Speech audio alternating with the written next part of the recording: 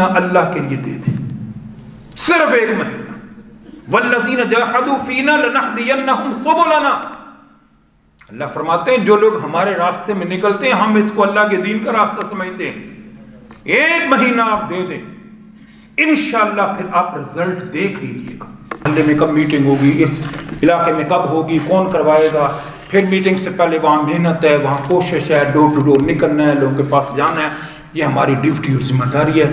और जिम्मेदारान अगर काम करेंगे, ये भी सुन लें, फिर बाद में ना कहिएगा। जिम्मेदारान अगर काम करेंगे तो कारकुन भी काम करेगा, रुकन भी काम करेगा, निकलेगा, ज़रूर निकलेगा। लेकिन अगर जिम्मेदारान नहीं करेंगे, जिम्मेदारान टाइम नहीं देंगे, उनके पास उनकी बड़ी मसरूफियात हैं। और पूरा साल, पाँच साल हम प्लानिंगें करते रहे, दफ्तरों में बैठे रहे मीटिंगें करते रहे। जब मौका आया, उस वक्त हमने कहा, जी, हम तो मसरूफ़ हैं, हमारे पास टाइम नहीं है। इसलिए मैं आपसे यही गुजारिश करूँगा कि टाइम चाहिए। बस, तबलीगी जमात वाले चालीस चालीस दिनों के लिए निकल जाते हैं। चार चार महीनों के लिए निकल जाते हैं। साल साल के लिए निकल जाते हैं। और क्या मैं अपनी इस जमात और तहरीक के लिए एक महीना नहीं दे सकता? क्या मेरे पास कोई टाइम नहीं है? इसलिए सिर्फ़ टाइम का मुतालबा। है बाकी वसाइल भी आपने देने हैं। पैसा भी देना है, वो इन जिम्मेदारान आपके सामने बात करेंगे। मैं जिस बात की तरफ़ आपको मुतवजह कर रहा हूँ, वो यही है, अगर हम ये समझते हैं कि जमात इस्लामी का मिशन, इकामत दीन का मिशन है तो उसके लिए ज़रूरी है कि हम ये काम करें। अब आप देख लें, ये वर्कर्स कन्वेंशन हमने रखा है, ये पूरे हल्के का है, तादाद आपके सामने है। हम किसी चीज़ को संजीदगी के साथ नहीं लेते, माजरत के साथ। बस फेसबुक है व्हाट्सअप है वो डाल दिए, भी आ जाएँगे, दुनिया आ जाएगी, खुद ब खुद आ जाएगी मेहनत करनी पड़ती है, निकलना पड़ता है, अरकान के पास जाना पड़ता है, कारकुनान के पास जाना पड़ता है। इसलिए मैं माजरत के साथ ये गुजारिश कर रहा हूँ। और ये मैं करता रहता हूँ, बस लोग मुझसे नाराज़ भी होते हैं, लेकिन मैं हकीकत आपके साथ ये एक महीना आपके पास है। एक महीना हाफिज असलम साहब, डॉक्टर सफ्तर इकबाल हाशमी साहब, चौधरी अतर अज़ीज़ साहब कुतब साहब, डॉक्टर अब्दुल्ला साहब, पाँच हमारे अफराद यहाँ बैठे हमारी टीम।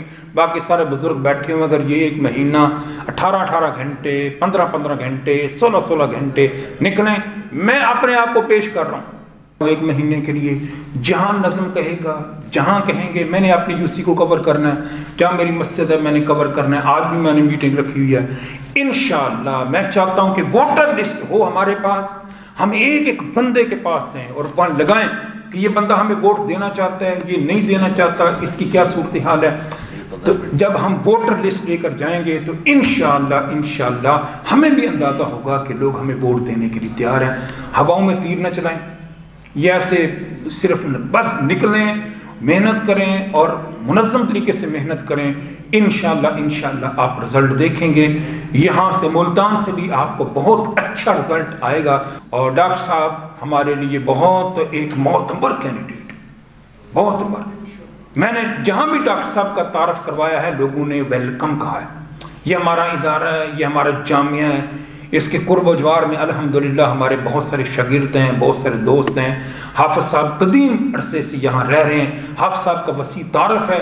हम इन रब की तोफ़ीक से, रब की तोफ़ीक से हम इन ये सीटें आपको जीत कर देंगे इन मुझे रब पर यकीन है, लेकिन शर्त क्या है?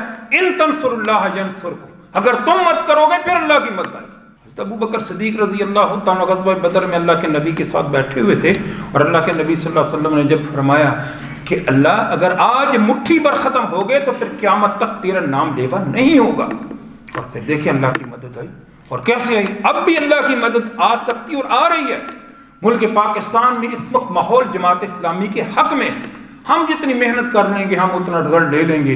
बहरहाल, मेरी गुजारिश है, अर्ज़ है इस हवाले से हमें मेहनत करनी चाहिए और इन ये महीना गुजर जाना है। पहले भी हमारे बहुत सारा वक्त गुजर गया है। एक महीना अगर हम इस जमात और तहरीक के लिए वक्फ़ कर दें, दे दें तो इन बेहतरीन रिज़ल्ट आ सकता है। मैंने चंद बातें आपके सामने रखी हैं।